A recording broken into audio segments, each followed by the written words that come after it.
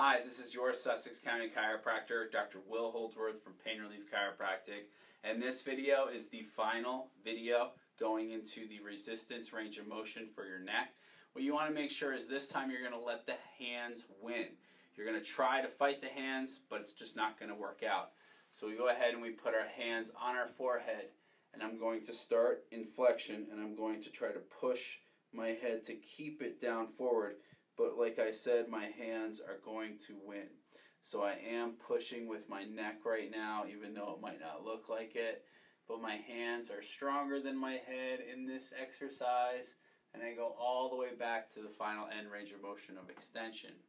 To start out in this direction, we go with our head back, and I try to push my head, but my hands bring my head all the way forward. I'm pushing my head backward into my hands and I am going to lose against my hands at the end.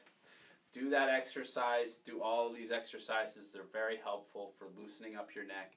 If you have any questions, you can go ahead and ask. Otherwise, just uh, thanks so much for watching. I'm your Sussex County chiropractor, Dr. Wil Holdsworth from Pain Relief Chiropractic.